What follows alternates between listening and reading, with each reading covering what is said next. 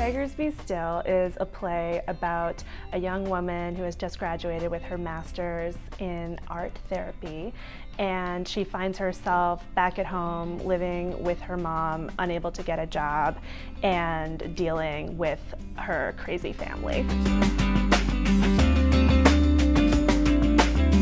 Tigers Be Still is part of our Roundabout Underground program, created especially at our Black Box Theater for playwrights who have never had a play produced in New York before. This play is everything I've described that I love.